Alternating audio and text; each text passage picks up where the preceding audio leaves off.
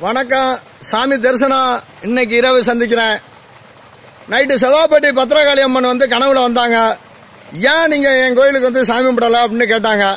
நான் உடனே வேகமா கிளம்பி வந்துட்டேன். சாட்டா முடிப்போம். இப்போ நான் இருக்கிற இடம் செவ்வாப்பட்டி பத்திரகாளி கோயில். இன்னைக்கு கதை வந்து வேற யாரை பத்தி சொல்லலை. என்னுடைய பிறந்த கதையை பத்தி சொல்ல போறேன்.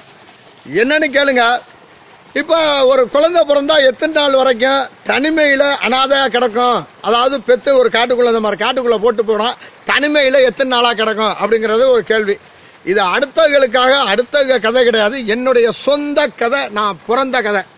நான் இந்த உலகத்துல எப்படி தோண்டினேன் எப்படி இந்த உலகத்துக்குள்ள எப்படி குதிச்சேன்? அப்படிங்கறது தான் மெயினான கதை. இதுல என்ன ஒரு மெயினான கதைன்னா என்னை சுத்தி உள்ள என் மாமா மச்சம்மா எல்லாரும் பெரிய பணக்காரன். நான் எட்டாவது குழந்தை.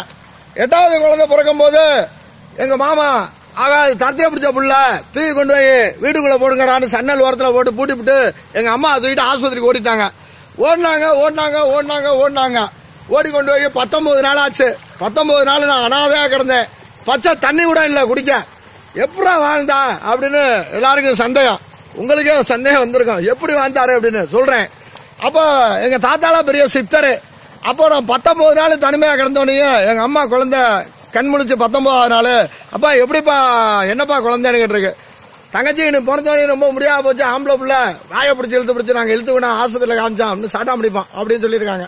உடனே தூக்கி கொண்டு போய் பாப்பா போய் பிள்ளைய பாப்போம் அப்படின்னு அம்மா சொல்லியிருக்கு. என்னதான் இருந்தாலும் தாய் பாசம் அப்படி சொல்லும் போது என்ன ஆகி போச்சுனாக்கா சரி ரைட்டு. அப்படின்னு சொல்லிட்டு எப்படி இருந்தாரு என்ன பண்ணாரு எப்படி பிறந்தாரு அப்படின்னு பார்க்கும்போது எல்லாரும் போய் வீட்டில் எப்படி பாக்குறது நேரம் புள்ள செத்து போயிருக்குமே நம்ம தங்கச்சிக்கு என்ன பதில் சொல்றேன்னு பார்த்துருக்காங்க. அழகா வீட்டில் வந்து என்ன பார்த்துருக்காங்க. அப்படியே காலையை ஆட்டிக்கிட்டு ஜோசோ